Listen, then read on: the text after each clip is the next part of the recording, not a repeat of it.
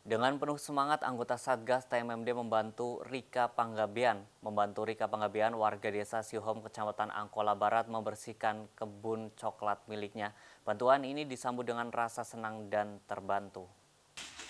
Desa Sihom, Kecamatan Angkola Barat, Kabupaten Tapanuli Selatan, sebagian besar warganya mengandalkan hidup dari hasil pertanian dan perkebunan. Seperti Rika Panggabean ini, kelangsungan hidupnya bersumber dari hasil perkebunan coklat.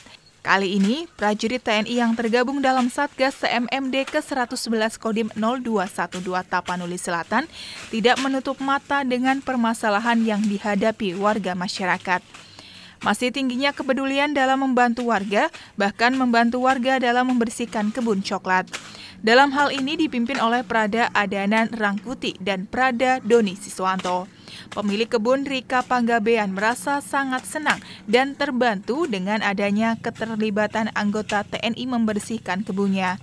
Bukan itu saja, dia juga mengapresiasi pembuatan jalan desa dengan harapan hasil panen bisa dengan mudah dan lancar untuk dibawa ke penjual.